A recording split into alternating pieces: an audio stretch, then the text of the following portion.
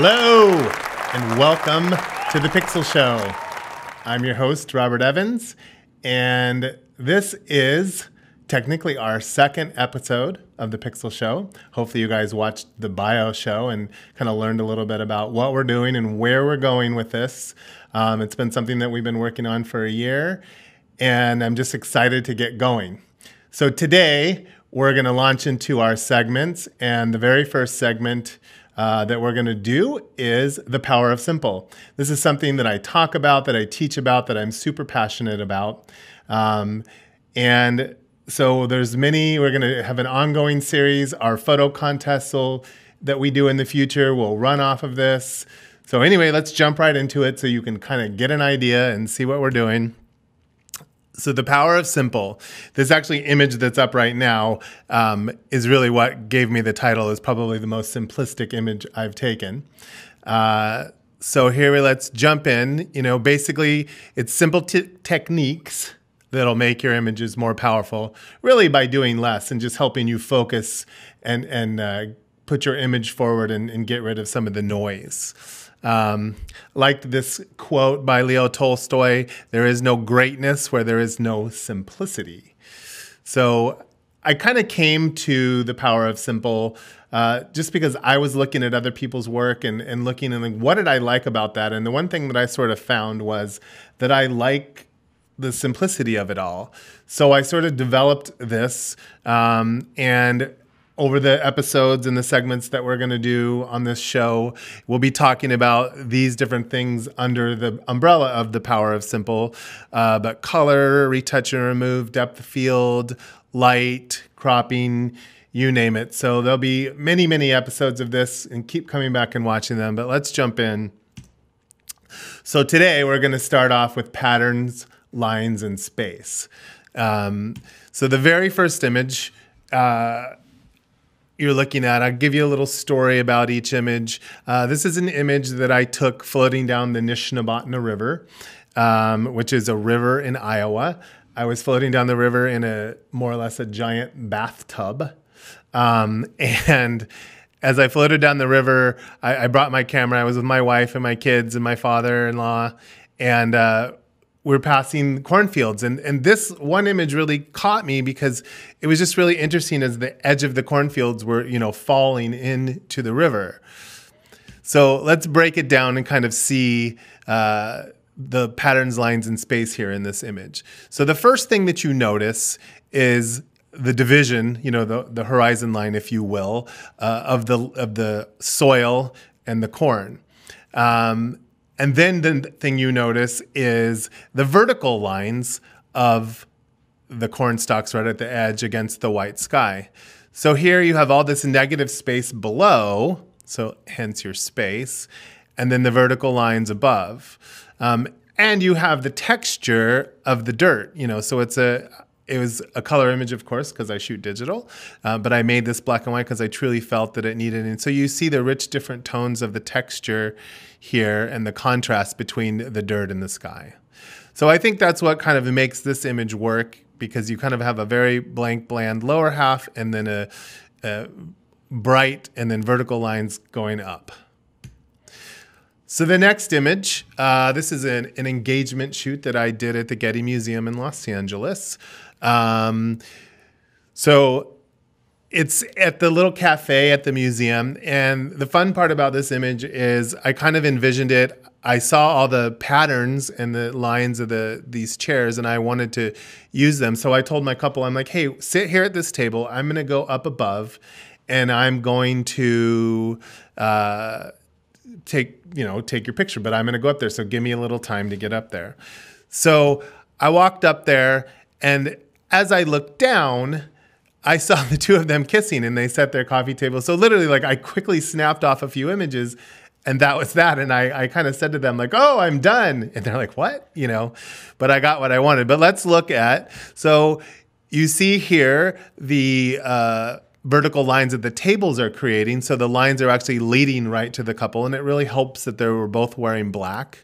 Um, the chairs themselves create patterns. So it's kind of like a a busy, noisy image, but they pop off of it because they're the only thing not in the same pattern and they're wearing black. And then, of course, there's negative space. So there's a nice distance between them. Uh, negative space is really great when you're, you, you know, shooting. I use a lot of it in my work. I rarely center things except when it needs to be center. So I really thought this worked. So moving on, oh, well, and of te- texture. So there's a little texture that the tables create too, but we said that. Okay. So I call this the one way Irish road. Um, I took this picture in Ireland a few summers ago. I was in London shooting a wedding, and then I went over to Ireland for a week and drove around and wanted to take photos. Why not when you're over there? And uh, this road was actually a road that the uh, navigation took me on. Uh, we were going to the Cliffs of Moher, and and we went down this one way road and I saw this and I was like, oh my gosh, I have to get out and take this photo because it was so cool. I mean, literally, you could not get one car past each other. So I got out, I was taking the photo, and then I noticed this car crest the peak. And of course, I took the image because I like the car in that position. Um, but then I thought to myself, like, oh my gosh, how in the world are we going to pass each other? So we got back in our cars and we drove until we met in the middle, sort of like two sneetches on beaches. And uh, I sort of figured it'd be another uh, local Irish person that, you know, like, so what do we do? And it was another tourist, a girl. And uh, basically, to make a long story short, we sort of pulled over a little bit and then she pulled over. I got out and directed traffic while my friend drove. And we were literally like inches away from each other. But, but that's the story and the memory of the photograph. So let's break it down. So, again, the elements here you have leading lines, you know, the road, of course, leading to the car. Uh, you have the negative space, which I mentioned before, super important. And, you know, it takes your eye in that direction. The bushes sort of also create a line, if you will. And it just gives the whole image like good symmetry. It takes your eye like right through it. Okay. So one mo- boat. So this image, like I mentioned at the top of the show, uh, was the image that sort of helped me come up with this concept, the power of simple. Uh, I was just with my family on vacation, and this was floating out. This was taken in San Luis Obispo, and this little buoy dinghy boat was just floating against this, and and uh, I split it. So here, the leading lines in here, you have, of course, the diagonal line that splits right down the middle of the photo, kind of dividing it in half.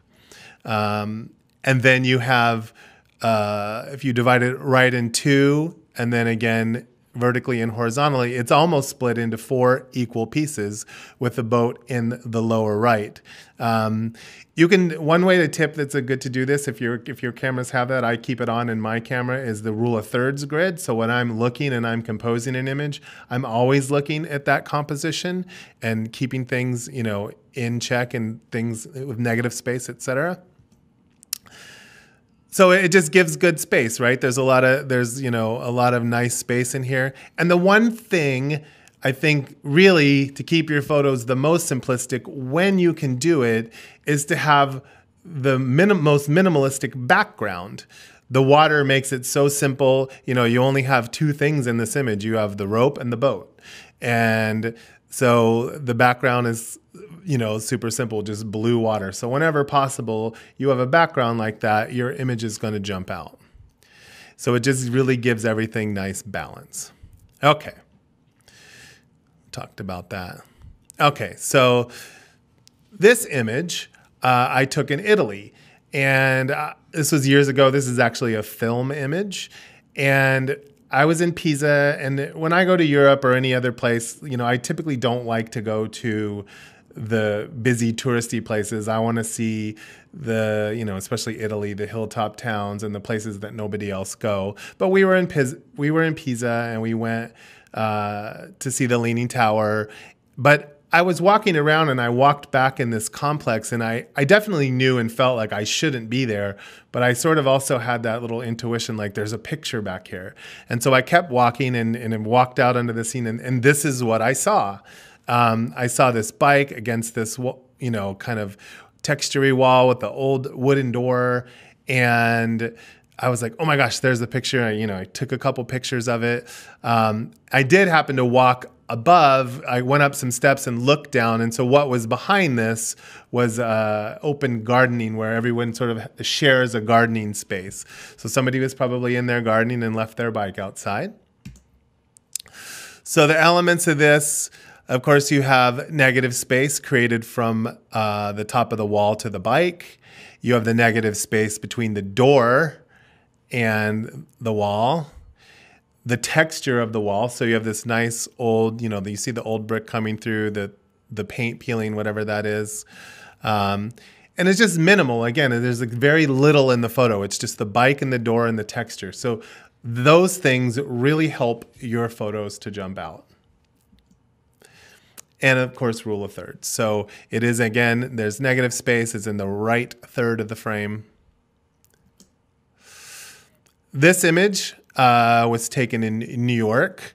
Um, I love this image because one of the first sports my boy started playing was baseball. And I liked baseball. Football was kind of my sport. And then uh, when he started playing baseball, I started watching more baseball and started really enjoying it. Um, and so when I saw walking through Central Park and I saw these baseball fields uh, with the view of the buildings in the background, I was like, oh my gosh. So uh, I was like, how, how do you take a picture of this?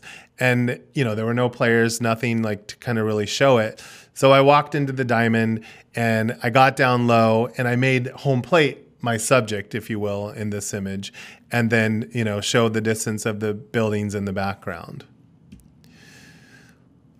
So you see right away the division. You have the dividing line almost equally in half between the field and the dirt to the trees and the building. Uh, so the dirt does create negative space. And then you have the vertical lines of the buildings shooting out from the top of the trees. And then the subject is in the lower third. Again, the subject is home plate. So you have the horizontal split. It gives it very nice balance between the dirt, which has nice texture, the negative space, and the texture. Um, so I think what makes this image work is the fact that I got down low. Sometimes it's nice, you, you know, you look at a picture.